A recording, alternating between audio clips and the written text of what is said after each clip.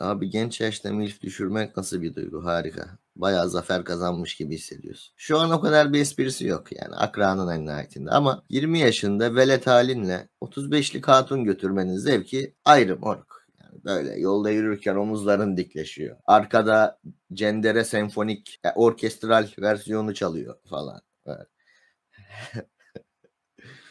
bir fetih var tamam mı? Ama şu an milf tavlamak herhangi birini tavlamak gibi yani. Vurdum mu dalgalanacak.